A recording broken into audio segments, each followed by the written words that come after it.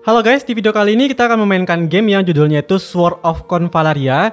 Jadi game ini tuh sekarang lagi demo di Steam ya, sedangkan untuk versi Androidnya itu masih dalam tahap pra-register guys. Jadi game ini tuh merupakan game RPG dengan konsep mungkin pixel art gitu. Yang kalau misalnya dari segi bentuk karakter dan juga visualnya itu mirip-mirip kayak Brown Dust tuh kalau gua nggak salah juga.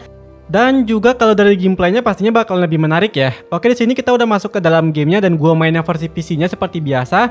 Oke langsung aja kita klik start. Oke ini dia kita udah masuk guys ke dalam gamenya dan ini tuh ada sedikit dialog gitu ya. Kita coba buat ikutin dulu.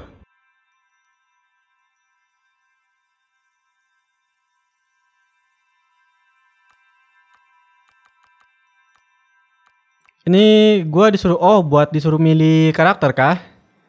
Dan ini dia guys, uh, ini ada dua gender ya. Yang pertama itu ada yang female dan juga ada yang male. Di sini gue pilih yang male aja sesuai gender gue. Oke ini dia kita udah masuk guys ke dalam gamenya ya. Kalau gua nggak salah game ini tuh konsep battlenya tuh kayak strategi RPG gitu guys. Itu kalau seingat gua ya. Oke ini ada sedikit dialog, gua coba ikutin dulu. Uh, tempat di mana ini? Siapa aku? Uh, gue pilih yang atas saja. Oh ya, jadi kalau gua nggak salah juga, game ini tuh mengusung story yang lebih fokus ke jalan ceritanya gitu guys. Maksud gua tuh gameplaynya itu lebih fokus ke storynya gitu kan. gua ngejelasinnya udah kayak gimana gitu ya.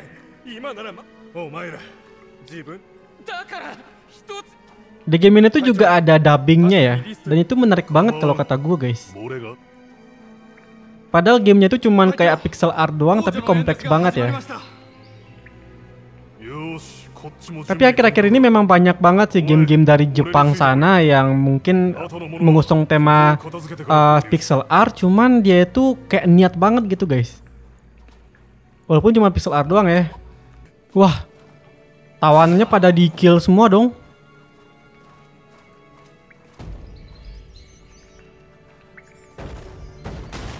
Wih. Ada pahlawan nih kayaknya. Dan habis ini kita bakalan battle. Tutorialnya ya.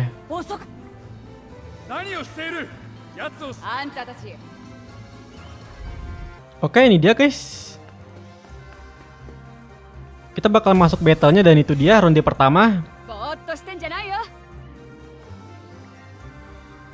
Nah, seperti yang gue bilang konsepnya itu kayak strategi RPG ya yang ada kayak pet-pet semacam kayak caturnya gini guys. Kita coba buat klik beginian dulu. Dan ini juga salah satu game RPG yang lagi banyak banget ditungguin sih sekarang ya. Dan ini dia gue disuruh buat nyerang beginian.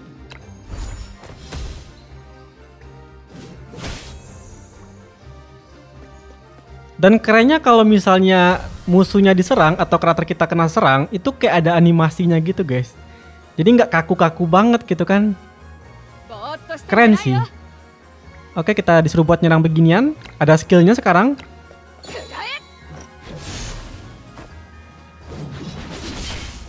Efek skillnya juga keren banget sih. Dan ya itu dia untuk battlenya cuy. Oke, ini dia uh, nick gue daftar game ID udah langsung kepake dong. Oh, nggak bisa pakai spasi ya? Oke, itu dia. Ada yang nyariin. Di sini tuh gue nggak bisa buat ngejelasin ke kalian ya arti dari dialognya itu guys. Walaupun gue itu sedikit mengerti sih, cuman cara gue buat ngejelasin ke kalian itu gue nggak paham guys. Jadi sorry kalau gitu. Gue nggak terlalu pinter bahasa Inggris sih. Oke kita diajakin buat ngikutin mereka. Uh, Oke okay dong. Dan sekarang kita ketemu musuh lagi. Wah, wah dia kena panah dong. Ya.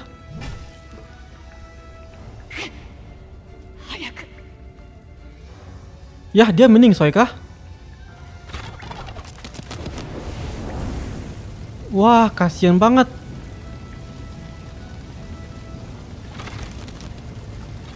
Ditinggalin kah? Ya Ella baru aja ketemu guys sudah langsung mending soy aja dia. Ini game story-nya memang keren sih. Kalau diikutin sih menarik banget guys. Oke, sekarang kita disuruh buat lawan beginian kayaknya. Sekarang kita punya tiga anggota tim ya. Wah, kasian banget sih itu. Watcher uh, unit counter destroyer unit, oke. Okay. We can let the enemies surround us. Oke, gue percepat aja ya. Dan ini ada sedikit tutorial. Jadi ini tuh ada kayak semacam konsep elemen-elemennya gitu. Ya biasa lah ya game-game seperti ini tuh pasti ada elemen-elemennya coy. Jadi ada yang seperti ini ya gua nggak bakalan jelasin ke kalian karena pastinya kalian udah pada paham semua tentang konsep seperti ini. Oke disuruh buat nyerang beginian gua. Kita pakai basic attack dulu. Dan sekali hit doang dong.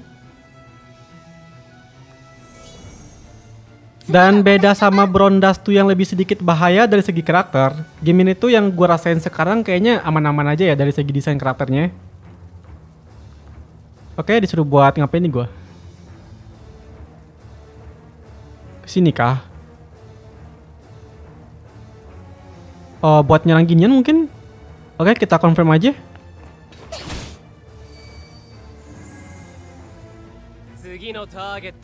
Kita nyerang ini uh, pakai skill kali ya, tapi kayaknya kita kalau misalnya mau mengeluarkan skill itu membutuhkan semacam kayak energi gitu guys. Jadi seperti yang kalian lihat untuk skill di sebelah kanan bawah ini itu membutuhkan dua energi, sedangkan untuk energi kita di sini tuh baru ada tiga ya. Mungkin gue bakalan coba pakai yang normal attack dulu aja. Kita kumpulin dulu guys energinya.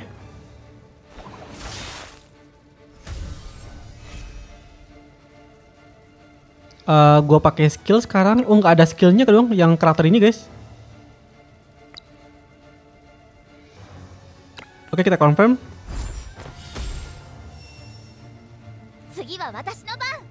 Ini kita attack dia. Kok cuman yang panahnya doang yang ada skillnya ya? Yang lainnya nggak ada cuy. Oke naik level. Dan di sini gue dapat karakter baru sih yang tadi ya. Namanya itu Maita. Oh, dapat skill baru dia ya? Dan ini ada sedikit cutscene gitu guys. Kotanya itu lagi kayak kebakaran gitu kah? Lagi rusuh kayaknya. Oke, sekarang kita kayaknya bakal masuk lagi guys ke dalam battle-nya ya. Ini gue percepat aja dialognya. Ini bakalan makin susah sih kayaknya ya karena ada penghalangnya gitu guys. uh, di sini gue bakalan coba buat serang ini dulu.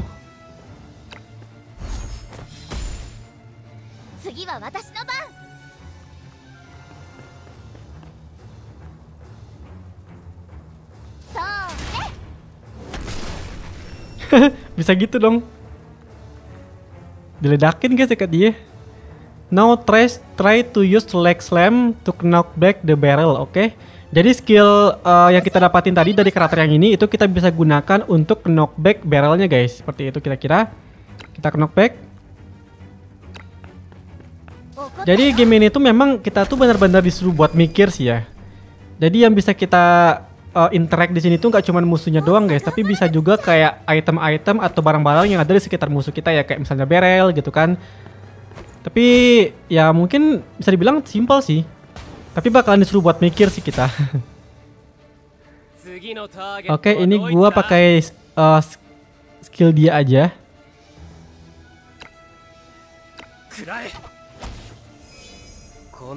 Gak ada animasinya kah? Skillnya cuma gitu doang. Ini kita bantuin dulu kali ya teman kita.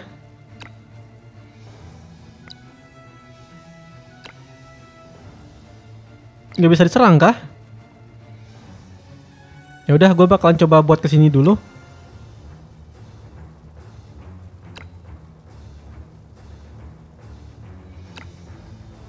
Gak bisa nyerang gue guys.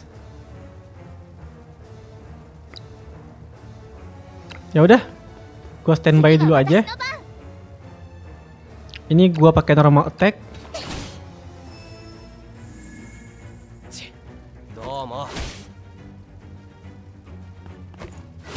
Dan menurut kalian gimana guys? Apakah game ini tuh worth it?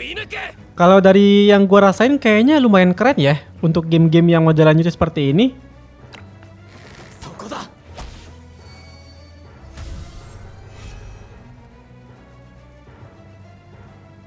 Ini kayaknya kita bakalan pakai mode auto kali ya.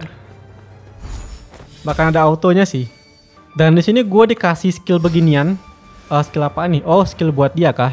Oh, karakter kita itu healer, guys. Jadi main karakter kita itu tipenya healer ya. Nah, di sini tuh kita udah masuk ke dalam banner summon atau banner buat gacanya cuy. Kita bakalan coba buat summon 10 kali sesuai dengan tutorialnya. Kita lihat. Apakah bakalan bahaya atau misalnya biasa aja gitu kan. kita coba lihat. Uh, untuk animasi pertamanya gak usah kita skip. Oke, gue dikasih apa nih? Oke, dapat karakter beginian gue.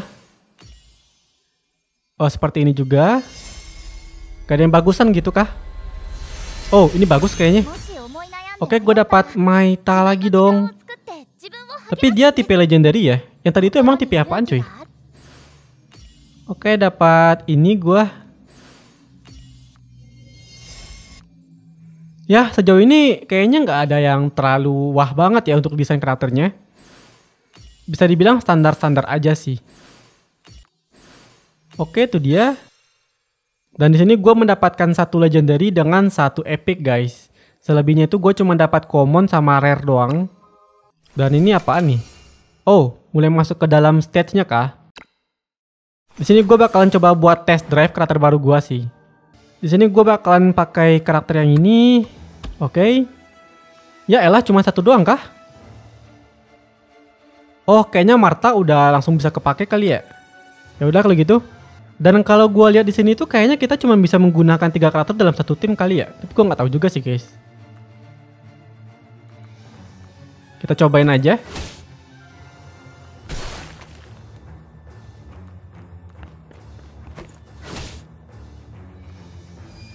Wah gila itu NPC-nya barbar banget.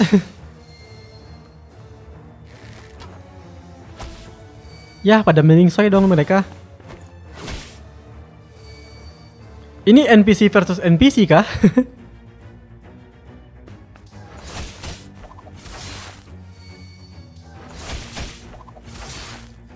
Dikalahin sama NPC-nya dong.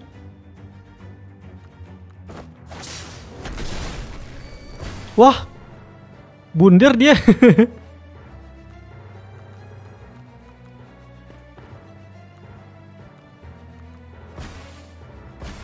Oke, itu jadi musuh kita guys. Wah, gila. Wah.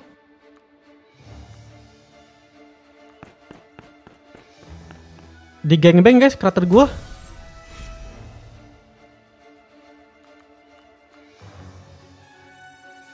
Dan ini dia, kita coba buat heal dulu karakternya.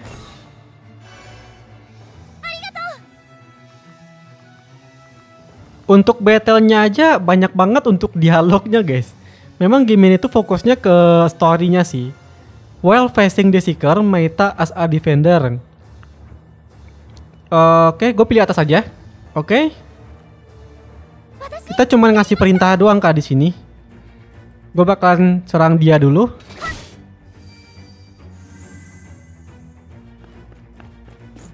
Ini game kita benar-benar disuruh buat mikir banget sih ya.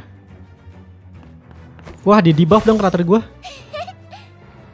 Oke, gue bakalan coba menggunakan skill karakter gue yang ini.